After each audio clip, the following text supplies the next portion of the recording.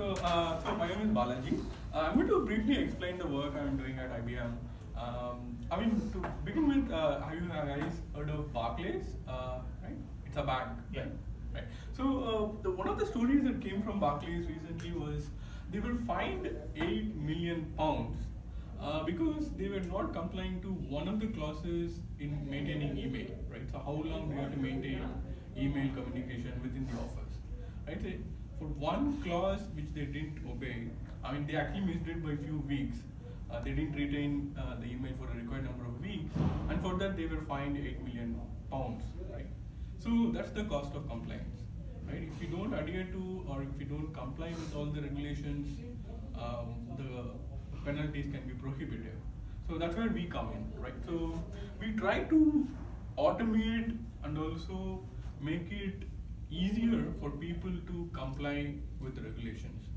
Um, we work in machine learning.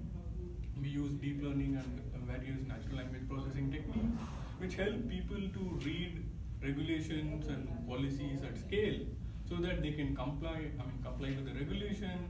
They can avoid human errors, and they can also make the process smoother for their end clients. Right. So banks themselves have clients. So if your processes for compliance are very good, your clients benefit too.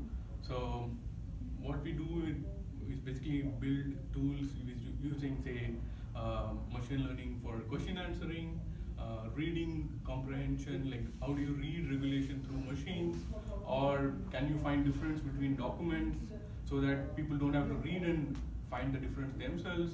So these are some of the ways in which we are making things life easier for say banks, uh, officers in the bank. Go ahead. Yeah. No, you have. Yeah, That's I'm, it. I'm quickly done. So as I said, like we are trying to make things easier for banks.